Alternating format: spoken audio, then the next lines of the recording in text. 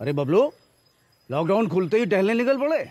महामारी अभी फैली हुई है। सरपंच जी टहले नहीं।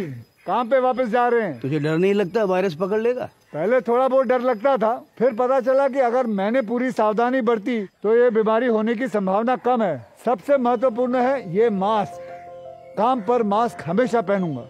समय समय पर हाथ धोता रहूँगा। और दूसरों से हर वक्त कम से कम दो गज की दूरी बनाए रखूँगा। खुद को दूसरों को और अपने परिवार वालों को भी सुरक्षित रखूँगा। अरे भाई मेरी ज़िम्मेदारी बनती है तुझे चेतावनी देना सो दे दिया। जब देश के मेडिकल और स्वच्छता कर्मचारी रोज कोरोना वायरस से लड़ने का काम कर रहे हैं तो हमारी भी तो ज़िम्मेदारी बनती है अपना काम करने की। बबलू तुझे कुछ हो गया तो? हज़ारों लोग इस बीमारी को हराकर ठीक हो चुके हैं। और अगर किसी कारण मुझे ये बीमारी हो भी जाए तो सरकार ने अस्पताल में हमारे इलाज के लिए पर्याप्त व्यवस्था कर रखी है। ये घबराने का वक्त नहीं एक दूसरे का हौसला बढ़ाने का वक्त है। अरे ऐसे क्या देख रहा है? तू काम पे जाएगा मैं नहीं जाऊँगा नाक नहीं कट जाएगी मेरी। चलो। मास्क। हाँ मास्क मास्क मास्क। अरे नाक तो ढक लो। हाँ हाँ।